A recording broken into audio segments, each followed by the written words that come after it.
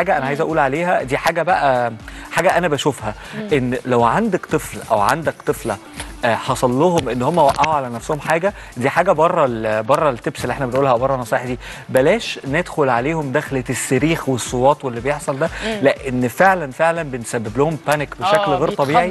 ويحصل خضة غير طبيعية. في أي وقت يجي يشوف فيها كوباية المية أو حاجة شبيهة لده ممكن يبقى عنده. bad experience أو يبقى عنده خبرة سيئة جدا. ده حقيقي كمان الدراسة أوصت إن آه، أي آم، حرق بيحصل سواء في.